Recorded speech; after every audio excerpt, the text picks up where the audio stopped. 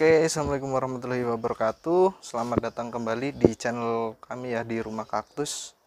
E, kali ini saya akan bahas tentang Euphorbia lactea.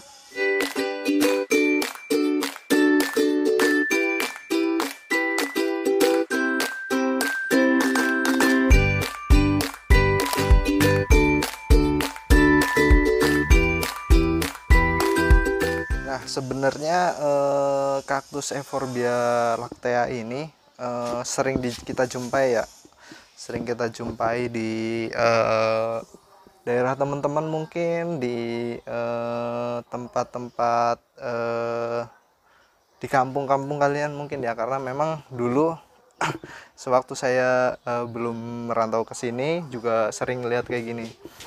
Nah, bentuknya itu seperti ini. Nah, seperti ini ya. Oke.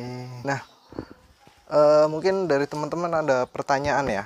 Perbedaan kaktus dengan euphorbia itu apa sih? Karena memang uh, secara bentuk itu susah dibedain ya. Sama sama-sama berduri terus sama-sama uh, tanaman kering kan begitu ya. Uh, cuman secara uh, yang paling gampangnya kita itu bisa ngebedain dari uh, getahnya. Nah kita coba ini ya kita coba kejauhan. Ini kita coba lukain sedikit. Set. nah tuh. Jadi kalau euphorbia itu dia memiliki uh, getah berwarna putih susu mau fokus. Nah. Nih putih susu ya. Getah berwarna putih susu. Secara garis besar ya. E, kemudian untuk kaktus dia memiliki getah e, warna putih bening ya kalau kaktus itu. Cuman secara perawatan kalau menurut saya sama sih. Cuman agak lebih agak lebih bandel euphorbia kalau menurut saya sih mungkin dari teman-teman ada pendapat lain ya uh, tentang euphorbia ini. Nah ini per kemarin uh, saya udah coba karena dia bentuknya terlalu panjang ya. Ini juga udah saya ikat. Udah saya ikat karena kemarin memang di sini nih uh, panjang banget nih. Panjang terus melehoi melehoi kan? Nah saya ikat di situ. Tetap masih melehoi akhirnya saya potong ini saya potong di sini. Jadi e, kalau di sini ya di pangkal inilah. Nih, di pangkal ini saya potong. Ini ada satu dua tiga empat. Hmm. saya potong. Kemudian e, saya perbanyak di sini. Nah begini ya. Jadi ini untuk biasanya nih kayak gini nih ujungnya nih ujung dari potongan itu. Karena memang bentuknya panjang. Saya potong rata-rata 10 sampai 15 cm nah seperti ini 10 sampai 15 cm kemudian saya keringkan 2 sampai 3 hari. Kemudian saya tanam di media tanam. Nah ini untuk yang bagian ujungnya. Biasanya dia memanjang seperti induknya.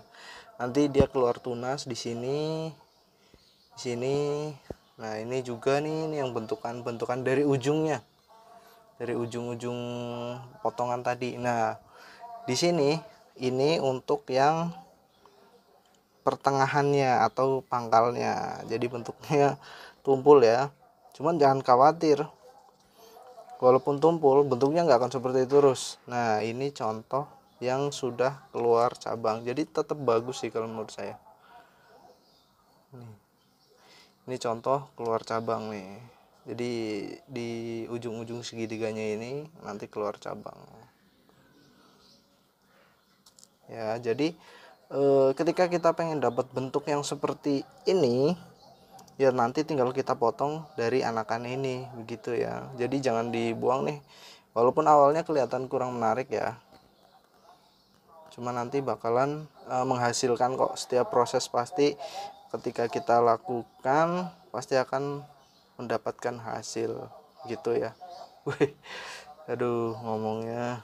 Ya memang memang adanya seperti itu sih. Jadi ketika ini terlihat jelek di awalnya nanti dia keluar anak seperti ini ketika anaknya sudah gede kita bakal dapetin yang seperti ini dengan kita uh, memotong anakan ini.